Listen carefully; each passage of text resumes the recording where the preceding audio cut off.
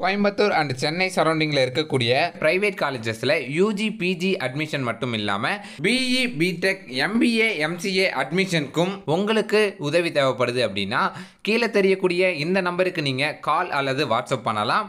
So admissions போய்கிட்டு இருக்கு. யாருக்கெல்லாம் அட்மிஷன் மற்றும் அட்மிஷன் என்கொயரி வேணுமோ மறக்காமல் கீழே இருக்கிற நம்பருக்கு கால் பண்ணுங்கள் முற்றிலும் இது ஒரு ஃப்ரீ சர்வீஸ்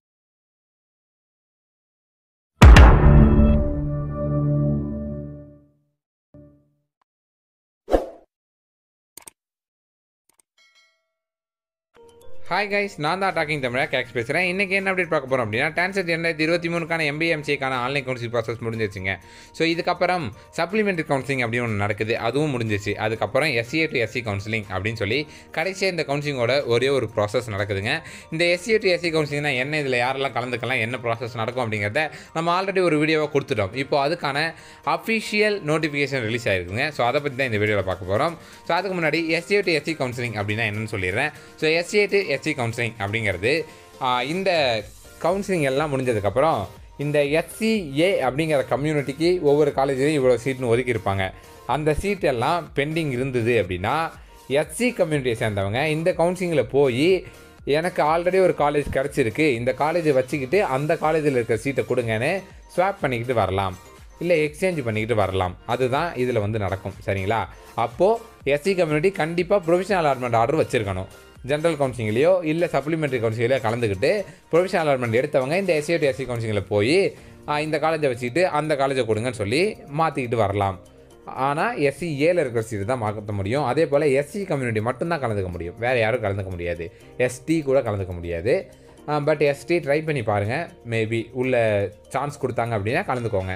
பட் மோஸ்ட்டாக எஸ்சி மட்டும்தான் கலந்துக்க முடியும். ஓகேவா ஸோ இப்போ வந்து அதுக்கான அஃபிஷியல் நோட்டிஃபிகேஷனை பார்க்கலாம். இது SCA to SC two thousand twenty three கவுன்சிலிங்கான இந்த ஒரு நோட்டிஃபிகேஷன் பார்க்குறோம் இதில் என்ன சொல்லியிருக்காங்க அப்படின்னா எஸ்சிஏ வகுப்பினருக்கு ஒதுக்கப்பட்ட இடங்களில் காலியாக உள்ள இடங்களை எஸ்சி வகுப்பினர் பெறுவதற்கான கலந்தாய்வு அரசினர் பொறியியல் கல்லூரி கோயம்புத்தூரில் நேரடியாக நடைபெறும்.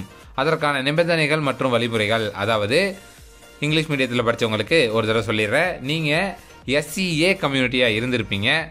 உங்களுக்கு நிறைய காலேஜில் சீட் அலாட் பண்ணியிருப்பாங்க பட் எஸ்சிஏ கம்யூனிட்டி எல்லா வருஷமும் ரொம்ப கம்மியான பேர் தான் இருப்பாங்க. ஒரு பத்துலேருந்து இருபது மேக்ஸிமம் முப்பது. ஓகேங்களா ஸோ அப்படி இருக்கும்போது எஸ்சி கம்யூனிட்டியை சேர்ந்தவங்க அந்த எஸ்சிஏல இருக்கக்கூடிய சீட்டை எடுத்துக்கலாம். அதை எப்படி எடுக்கலாம் அப்படின்னா ஜஸ்ட் ஸ்வாப் பண்ணலாம். சரிங்களா? அதாவது ஆல்ரெடி எஸ்சி கம்யூனிட்டியாக இருந்தீங்கன்னா ஆல்ரெடி ஜென்ரல் கவுன்சிலிங்கில் சப்ளிமெண்ட்ரி கவுன்சிலில் கலந்துக்கிட்டு ஒரு காலேஜை நீங்கள் எடுத்திருக்கணும். அப்படி எடுத்திருந்தீங்கன்னா அந்த காலே அந்த கவுன்சிலிங்கில் எடுத்த சீட்டை கொண்டு போய் எஸ்சிஏ டு எஸ்சி கவுன்சிலிங்கில் கொடுத்து நீங்கள் ஸ்வாப் பண்ணி எக்ஸ்சேஞ்ச் பண்ணிக்கிட்டு வரலாம் அப்படின்னு சொல்லுவாங்க. ஸோ எலிஜிபிலிட்டி பாருங்கள் candidate must belongs to SC only so SC community மட்டும்தான் இதில் கலந்துக்க முடியும். வேறு யாரும் கலந்துக்க முடியாது. எஸ்சிஏ கூட கலந்துக்க முடியாது. Only SC community candidate should have attended counselling for MBA or MCA and must have the allotment order சொன்னேன் இல்லையா ஸோ நீங்கள் கண்டிப்பாக கவுன்சிலிங்கில் கலந்துக்கிட்டு அலாட்மெண்ட் ஆர்டர் கையில் இருக்கணும். ப்ரோ நான் வந்து இதில் கிடைச்ச காலேஜ் வேணாம்னு சொல்லிட்டு இப்போ எனக்கு அலாட்மெண்ட் வரல அப்படிங்கிறவங்க சப்ளிமெண்ட்ரி கவுன்சிலிங் போய் அலாட்மெண்ட் வாங்கு.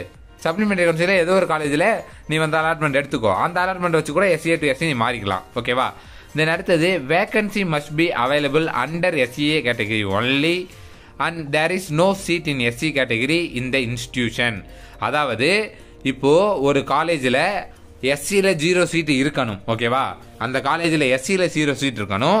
எஸ்சிஏல அங்கே வந்து ஒரு சீட் இருக்குது இல்லை ரெண்டு சீட் இருக்குது அது நல்ல காலேஜ் உங்களுக்கு நார்மல் கவுன்சிலிங்கில் கிடைச்சதை விட அங்கே இருக்கிறது நல்ல காலேஜ் அப்படின்னா அங்கே எஸ்சியில் ஜீரோ சீட் இருந்து எஸ்சிஏல மட்டும் சீட் இருந்தால் நீங்கள் இதை கொடுத்துட்டு அதை ஸ்வாப் பண்ணிக்கலாம்.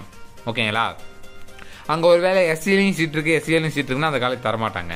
ஓகேவா அந்த காலேஜில் எஸ்சி எஸ்சியில் ஜீரோ இருக்கணும். எஸ்சி ஏல மட்டும் அங்கே வந்து உங்களுக்கு சீட் இருக்கணும்.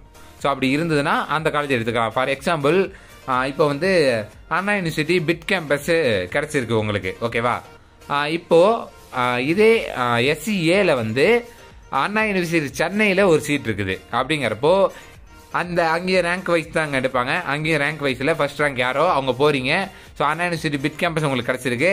ஆனால் அண்ணா யூனிவர்சிட்டி சென்னையில் ஒரு சீட் இருக்குது அப்படிங்கிறப்போ இந்த சீட்டை கொடுத்துட்டு நான் அந்த சீட்டை எடுத்துக்கிறேன்னு சொல்லி எக்ஸ்சேஞ்ச் பண்ணிக்கலாம். ஓகேங்களா? இது புரியுதா? இதுதான் ப்ராசஸ் ஓகேவா? நீங்கள் ஒரு காலேஜ் எடுத்திருப்பீங்க. அந்த காலேஜ் கொடுத்து நீங்கள் எக்ஸ்சேஞ்ச் பண்ணிக்கணும். அங்கே எஸ்சி ஏல சீட் இருந்தால் மட்டும் எஸ்சியில் ஜீரோ இருக்கணும். ஓகேவா? So vacancy position under SCA category is available இந்த வெப்சைட் அப்படின்னு சொல்லி கொடுத்துருக்காங்க. எப்போ அப்படின்னா ஒன்பது எட்டு ரெண்டாயிரத்தி இருபத்தி மூணு. பத்தாம் தேதி தான் உங்களுக்கான கவுன்சிலிங் ஒன்பதாம் தேதி நாங்கள் வந்து எம்பிஎம்சி வெப்சைட்லேயே வேகன்சி பொசிஷன் கொடுத்துருவோம். அதை பார்த்துட்டு கூட நீங்கள் கவுன்சிலிங் வாங்கன்னு சொல்லியிருக்காங்க. ஸோ டாக்குமெண்ட் என்ன எடுத்துகிட்டு போகணும் அப்படின்னா அலாட்மெண்ட் ஆர்டர் ஒன்றே ஒன்று போதும். வேறு சர்டிஃபிகேட்லாம் எதுவுமே வேணாம். Allotment order received from the secretary TN MBMC admission ரெண்டாயிரத்தி இருபத்தி மூணு government college of technology Coimbatore. உங்களுக்கு ப்ரொவிஷன் அலாட்மெண்ட் ஆர்டர் வந்திருக்கணும். அந்த ப்ரொவிஷன் அலாட்மெண்ட் ஆர்டர் மட்டும் நீங்கள் ரெண்டு காப்பி எடுத்துகிட்டு போங்க. வேறு எதுவுமே வேணாம். எஸ்சிஏ டு எஸ்சி கவுன்சிலிங்கை பொறுத்த வரைக்கும் எம்சிஏக்கு எப்போ நடக்குது அப்படின்னா பத்து எட்டு ரெண்டாயிரத்தி இருபத்தி மூணு காலையில் பத்து மணிக்கு ஆரம்பிக்குது. எல்லாரும் ஒம்பது மணிக்கெலாம் உள்ளே இருக்கணும். எம்பிஏக்கு அதே நாள் பத்து எட்டு ரெண்டாயிரத்தி இருபத்தி மூணு பதினோரு மணிக்கு ஆரம்பிக்குது. ஜஸ்ட் ஒன் ஹவர் தான். ஏங்க ஒன் ஹவரில் எப்படிங்க முடியும்னு கேட்டிங்கன்னா முடிஞ்சிருங்க. மேக்ஸிமம் பத்துலேருந்து இருபது பேர் தான் போய் போவீங்க எஸ்சிஏ டு எஸ்சி கவுன்சிலிங் அப்படியே நிறைய பேர் போனாலும் அங்கே வேகன்சிஸ் பார்த்து தானே போவீங்க. அதனால இருபது பேர் தான் போவீங்க. அது மேலே போக மாட்டீங்க. So venue government college of technology கோயம்புத்தூரில் தான் நடக்குது. So MBA MCA counselling hall so அது வந்து செகண்ட் கேட்டு கடைசி கேட்டை தான் அந்த கேட்டில் உள்ளே போனதுமே ஃபஸ்ட்டு பில்டிங் ரைட் சைடில் இருக்கும். ஓகேங்களா அந்த பில்டிங்கில் தான் நடக்கும். ஸோ இதுதான் எஸ்சிஏ டு எஸ்சி கவுன்சிலிங்காக வந்திருக்கக்கூடிய அந்த ஒரு நோட்டிஃபிகேஷன் நீங்கள் இந்த கவுன்சிலிங்கில் கலந்துக்கணும் அப்படின்னா கோயம்புத்தூரில் இருக்கிற ஜிசிடி காலேஜுக்கு போகணும். அதாவது எப்படி போகணும்னு கேட்டிங்கன்னா கோயம்புத்தூரோட மெயின் பஸ் ஸ்டாண்ட் காந்திபுரம்னு சொல்லுவோம். அங்கே போயிட்டு அங்கே நீங்கள் வந்து வடவள்ளி அப்படி இல்லைன்னா மருதமலை அப்படின்னு போட்டிருக்கக்கூடிய பஸ் ஏறணும். நீங்கள் ஏறி ஜிசிடி காலேஜ்னு சொன்னீங்கன்னா வாசல்லே இறக்கி விடுவாங்க. அங்கேருந்து செகண்ட் கேட்டில் போய் நீங்கள் வந்து உள்ளே போனீங்கன்னா ரைட் சைடில் இருக்கிற ஃபஸ்ட் பில்டிங்கில் கலந்துக்கலாம். ஓகேங்களா? தென் அடுத்தது இந்த எஸ்சிஏ டு எஸ்சி கவுன்சிலிங்கில் உள்ளே போகிற எஸ்சி கேண்டிடேட்ஸு உங்களுக்கு அங்கே நல்ல காலேஜ் இருக்குது அப்படின்னு தெரிஞ்சு தான் உள்ளே போவீங்க. ஏன்னா வேக்கன்சிஸ் முன்னாடி விட்டுருவாங்க பார்த்துருவோம் ஸோ அப்படி வேகன்சிஸ் பார்த்துட்டு தான் போகும்போது உங்களுக்கு முன்னாடி இருக்கிறவங்க அந்த நல்ல காலேஜை எடுத்துட்டாங்க அப்படின்னா உங்களுக்கு அந்த காலேஜ் கிடைக்காது இல்லையா? ஸோ அப்படி இருக்கும்போது நீங்கள் வந்து கலந்துக்கிட்டால் கண்டிப்பாக நான் வந்து அங்கே காலேஜ் வந்து எடுத்தே ஆகணுமா அப்படின்னு கேட்டிங்கன்னா கிடையாதுங்க. நீங்கள் விருப்பப்பட்ட காலேஜ் அங்கே இருக்கும்போது எடுத்துக்கலாம்.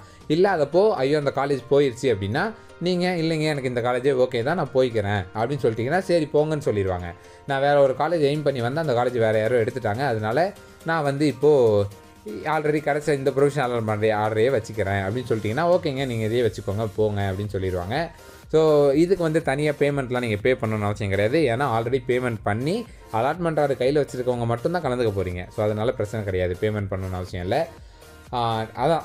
ஸோ நீங்கள் வந்து என்ன பண்ணணும் அப்படின்னா நீங்கள் போய் அங்கே நீங்கள் நினச்ச காலேஜில் சீட்டு இருந்தால் அதை எக்ஸ்சேஞ்ச் பண்ணிக்கலாம்.